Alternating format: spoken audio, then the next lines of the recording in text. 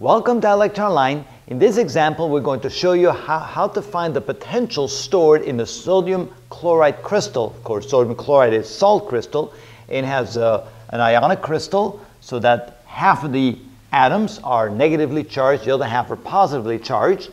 And so the positive charged atoms, of course, are sodium. The negative atoms are called chlorine. They're, of course, ions now. They're singly ionized, which means that each atom or each ion carries a charge of a single electron, which is 1.6 times 10 to the minus 19 coulombs. So by pushing all those ions together into a crystal lattice, the lattice will store energy. Now the question is, will it be positive energy or negative energy? Positive energy means that you had to do work to get it all put together. Negative energy means that they would naturally settle into a crystalline structure like that. The guess is that it's probably negative potential energy because we know that those are very stable crystals and it takes a lot of energy to break them apart. So let's figure out how to find the total potential energy within a crystal like that.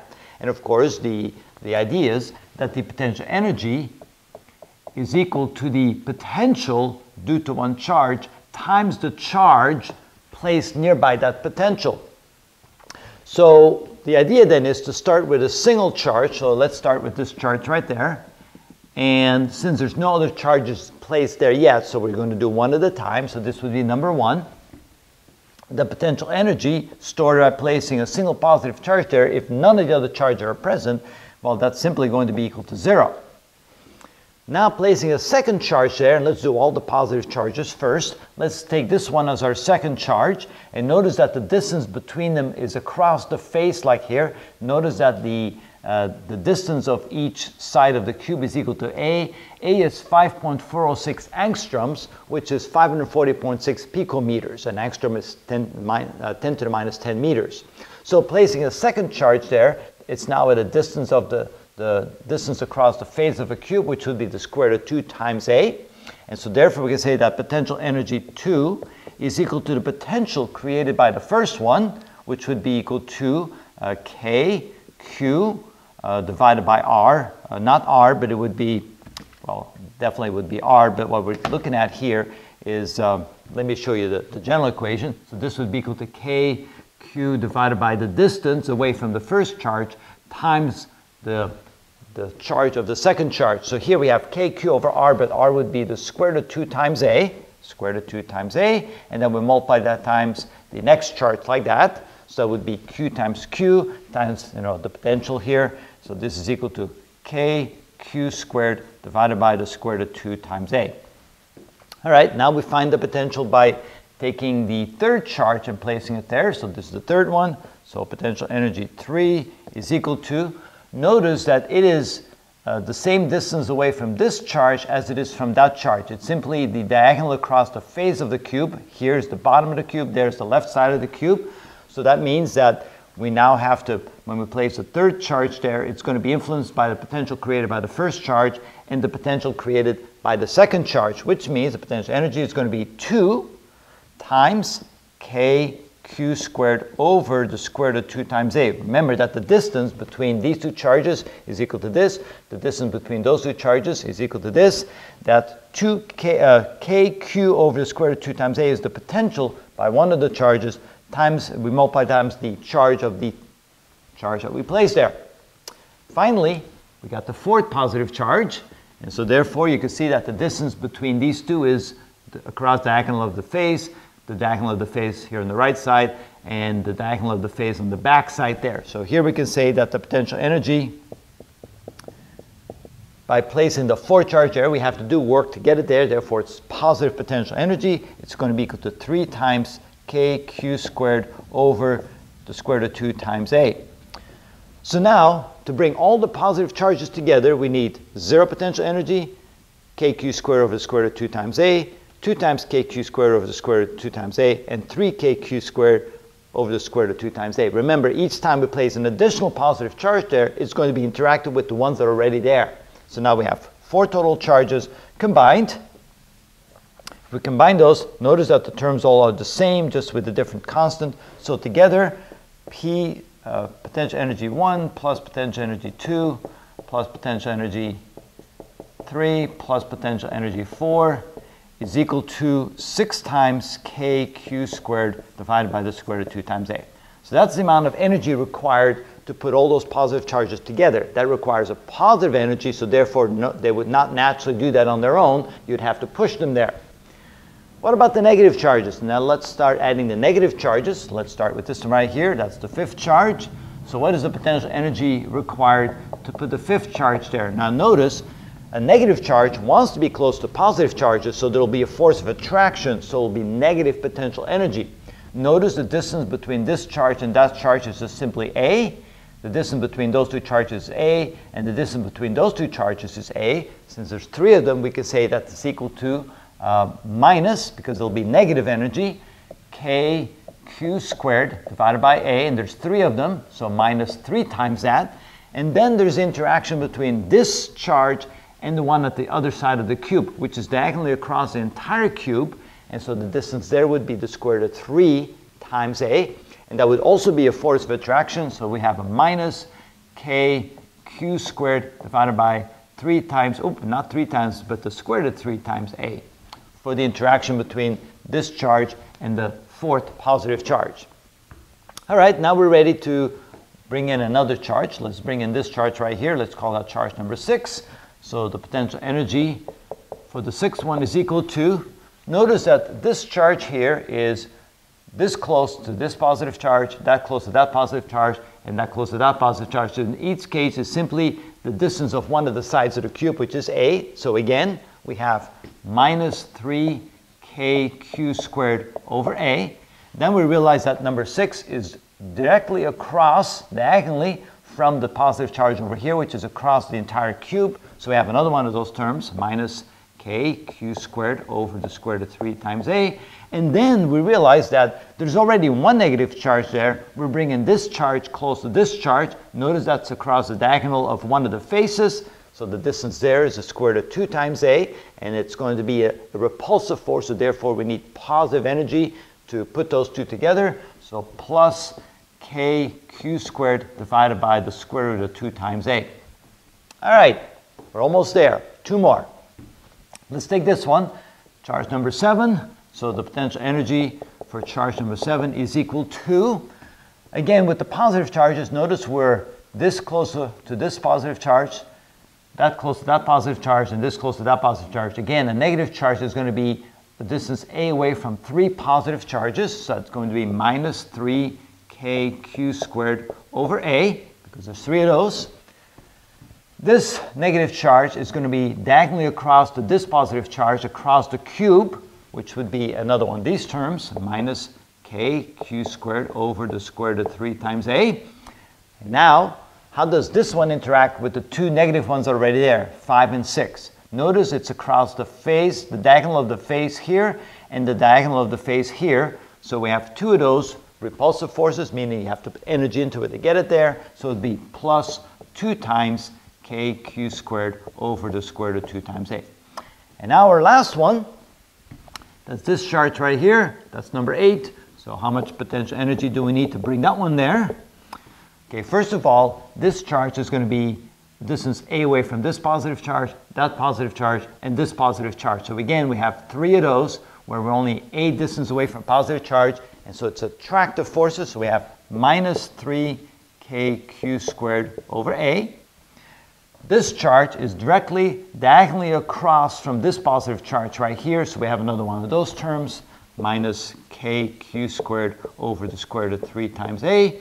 And notice now that this charge is now going to be in the presence of three negative charges that are already there. So there's a, a force of repulsion. So therefore, um, we need to push to get that charge there. And notice it's across this face, diagonally across this face, diagonally across the left face, and diagonally across, across the back face. So which means we have three of these terms right there. So plus 3kq squared over the square root of 2 times a. Remember, the distance across the diagonal of a face is the square root of 2 times a. All right, so now we can add all those together. So this is the amount of energy it required to put the four positive charges together, and that's the amount of energy that it requires to add the additional four negative charges. Um, so, well, we have to add all this together. So let's do that. We have four of these are identical. So potential energy 5 plus potential energy 6 plus potential energy 7 plus potential energy 8 is going to be equal to minus 12 times kq squared over a. Notice we have 1, 2, 3, 4 of those. That would be minus 4 kq squared divided by the square root of 3 times a. And notice we have 1, 3, 6 of those, so plus 6 kq squared divided by the square root of 2 times a. All right, so that would be the amount of energy required to bring those three last, uh, the four last uh, negative charges together. So the total energy, P total, is equal to the sum of these two. So when we add these two together, so we have a plus 6 of this and a plus 6 of that, that gives us plus 12. So altogether we get minus 12 kq squared over a, that's this term right there, minus 4 kq squared over the square root of 3 times a, and then this one added to this one gives me a plus 12 kq squared over the square root of 2 times a. And then, of course, it might be a good idea to factor out the kq squared and a so that this becomes minus 12 over a minus 4 over the square root of 3 times a and plus 12 over the square root of 2 times a all multiplied times kq squared over a. Oop, and I probably should should get rid of the a because I've already factored it out. There we go. That's probably the cleanest way to write it. Right down here, I know I don't have a lot of room anymore. Let me take the eraser away so you see a little bit better. So that would be the total energy stored inside a sodium chloride crystal like that. Now the question is, is it positive energy or is it negative energy?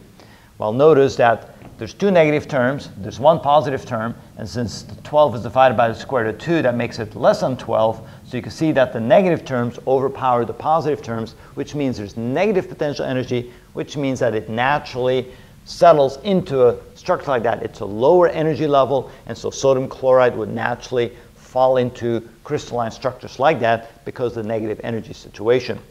If we want to know what that is equal to, we can then calculate that. So the potential energy is equal to, so there's this quantity right there would be minus 12, minus 4 divided by the square root of 3, minus 12 divided by the square root of 2, times k, which is 9 times 10 to the 9th, times q squared, which is 1.6 times 10 to the minus 19. We have to square that, divided by the distance a, which is 540.6 picometers, 540.6 times 10 to the minus 12 meters. All right, I left the units off, so it's a little cleaner to work with. And now if I find my calculator, here it is. Let's figure out how big that number is. So let's say 12 divided by uh, the square root of 2, and that's a negative number, minus 4 divided by the square root of 3, and then plus, oh, oh, I think I made a mistake here. That should be a plus, shouldn't it? I'm getting too ambitious with my negative signs. Let me try this again. All right.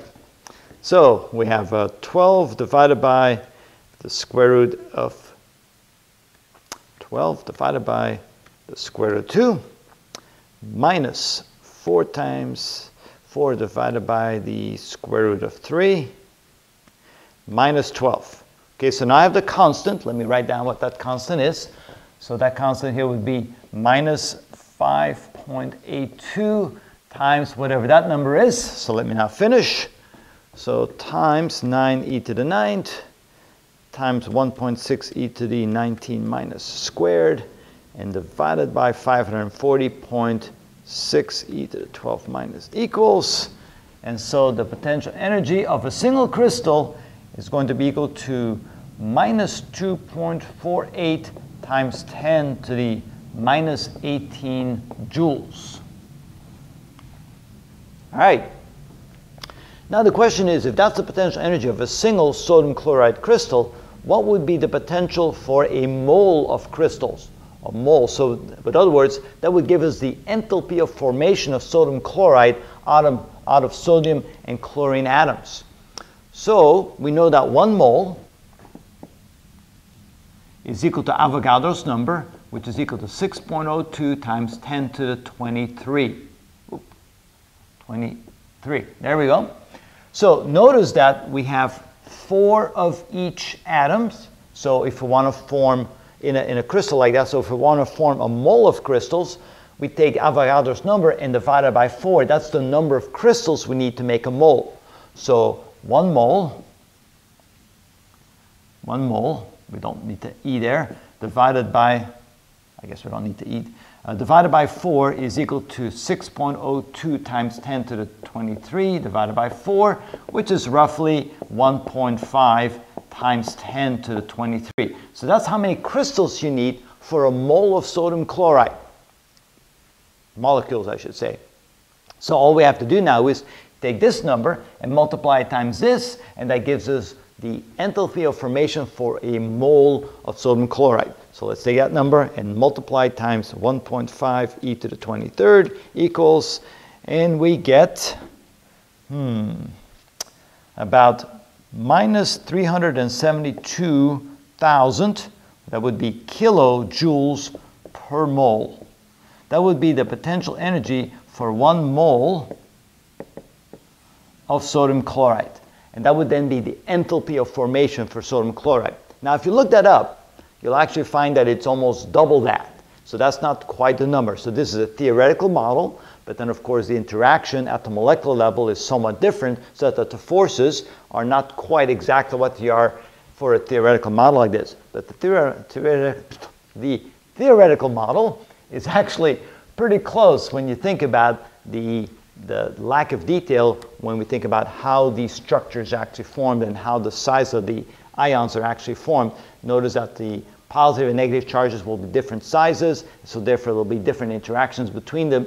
But hey, it gives us a pretty good idea of how to do this. So there's a good example of how to find the potential energy stored in a sodium chloride crystal or any crystal for that matter. We use the same principles. Again, the idea is that you bring one charge into the time uh, in at a time and then see how the other ones interact as you bring them in one at a time. And each, of course, charge um, has its own uh, potential around it, and so we have to then take care of that interaction in each case, and so you can see how that builds up as you add more and more charges to it.